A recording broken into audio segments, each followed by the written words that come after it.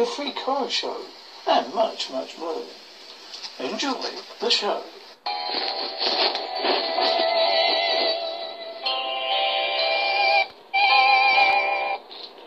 Freddy the Freak here, or host. Regan and I, Freddy the Freak, host. I present a tale a girl, a demon, an exorcism, for your pleasure, my, my children, Regan and I. I am a Catholic priest, sent by my orders at the Vatican to perform an exorcism on an alchemical dog in an ancient city in Iraq.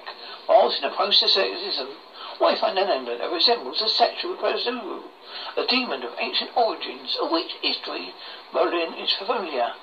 A powerful spirit who is bad, so, who is bad to defeat. I just hope I have stopped him in time, I not I if not I fear for the world.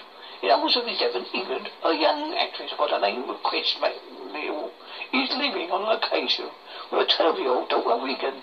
She is starring in a movie about student activism, directed by a friend and associate, Burke Dennings, a bit of an art movie kind. After playing with a Ouija board, Regan and her sleepover friends end up contacting a ghostly spirit, whom we, whom we called Captain Harry. Regan begins acting strangely, involving including making mysterious noises, stealing constantly, using obscene language, and exhibiting normal, uh, abnormal strength. This is at first put down to a mother as normal teenage behaviour. As a mother is not one for conflict, who would like to get on with a lot a script for a latest film. Chris hosts is a party, during which Regan comes downstairs unannounced, tells one of the guests, an astronaut, eh, he will die up there, and then urinates on the floor, much to disgust some other. And the guest, Regan is told to apologise to the astronaut dressed guest and clean the mess. She does neither. As the guest dressed as an astronaut is getting in his car, he thinks to himself about a strange prediction. Then starts an engine and goes on his journey alone. As he's going along the motorway, oh, a car, police car flags it down. He thinks it must be his red tail light. He stops at the cold shoulder and waits as a police officer approaches and winds down his window. The police officer has a strange, blank expression in his face, a deadpan voice. He asks the man to please depart from his car. As the astronaut-dressed man stands, he suddenly, and with extreme violence, set upon one police officer who is carrying a large knife in his hands and calmly hacks at the astronaut-dressed man until he is dead.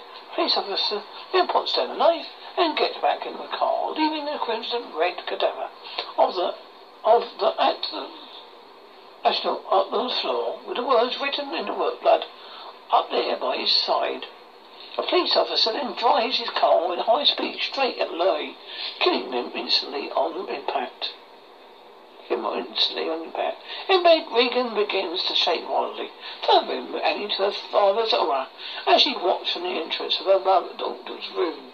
Chris consults a number of physicians, Dr. Klein and his associates, find nothing physiological wrong. And of her daughter, despite being undergoing a maternity diagnosis test, various departments at North Devon District Hospital in Barnstaple, Devon. One night, when Chris is out on a late night filming, she asks Burke Dennings to babysit a heavily sedated Regan. Burke liked his babysitting job as he waited until his employer, Chris, left the house and checked out Regan, being up like a light due to sedation he went downstairs and casually helped himself to some snacks, a bottle of whiskey and put on the television to watch a box set. While watching the television, he heard a voice calling from upstairs. At first he ignored it. Then the voice gets louder. Bert goes upstairs to investigate that he's not being not playing a trick on him. As he peers around the door leading to Regan's room, he finds himself being pulled by a visible force towards the bedroom uh, bedroom window. Chris is informed that her film scene. They, they arrived to see the call, saying she's needed at home straight away. As Chris enters the driveway, he sees the broken figure Burke, who has died falling out of the window. Although this isn't assumed to have been an accident, Burke's history of heavy drinking, his death is investigated by Lieutenant William Kinderman. Kinderman interviews Chris, who him of Regan's recent years of health check by physiologist Dr. Klein, recently stating the death of his frail mother. Dr. Klein's mother died of a heart attack. and a strangling expression on her face. Doctor tells you, Lieutenant, that Regan's operations are mostly psychological in origin and bizarrely recommends that exorcism should be performed, reasoning that believing oneself to be possessed can sometimes be cured by believing that exorcism works as well. Chris arranges a meeting with me and has discussed about the daughter, Regan, acquiring her exorcism which I agreed to perform to give her what peace of mind and feed my curiosity. On my first visit, see Regan, she speaks backwards in different voices and exhibits scars in the form of her words help me on her stomach. I'm convinced that Regan is possessed. Believing her soul is in danger, I decide to perform an exorcism. The experienced Merlin is selected for performing the actual exorcism, me assisting. We both witness Regan perform a series of bizarre, vulgar acts as we attempt to exorcise a demon, a stubborn entity. Toys with him, especially me. I show my weakness, and I am dismissed by who attempts to murder Malone, which is against Vatican policy. We're dealing with a possible demonic entity. I went in the room late and discover that Merlin had died of a heart attack. After failing to read Merlin, I used to become enraged confront the mocking, laughing spirit and wrestle Regan's bodies around. At my intervention, uh, leaves Regan's body possesses mine instead. At the moment of self-sacrifice, I throw myself out the window. If all I can be compelled to harm Regan, I am mortally injured. Father Joy, an old friend of mine, happens upon the scene and ministers the last rites of his friend. A few days later, Regan now back to a normal self, pays to leave for Los Angeles. Oh, mother, I Regan has no apparent recollection of her possession. She's missed the sight Mubo sight dies clerical collar to kiss her on the cheek. Kinderman, who narrowly misses their departure, defends Father Dyer as he investigates my death, from which he seems to be only written.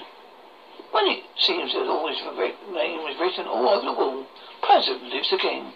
For you, you unknown to the priests, Fighting in the spirit of Prezu was used to, he used a reverse spell for a priest of I jumped out the window, and the face looking in mirror sitting in the room at Los Angeles was not Regan. It was the demon Prezu, which is now proud owner of Regan's soul. The story is loosely based on the film The Exorcist, a 1973 supernatural horror directed by William Franklin and produced and written by Screen by William Peter Berkeley, based in 1971 novel of the same name by Blackley. Film stars Ellen Burksy, Von Rich Van Snow, Lee J. Cobb, Katie Winn, Jack McGovern, his film Final Film Home, Jason Miller, and Linda Blair. In their first installment on the Exorcism film series, follows the minute possession of a 12-year-old girl and her mother's attempt to rescue her through an exorcism conducted by two priests.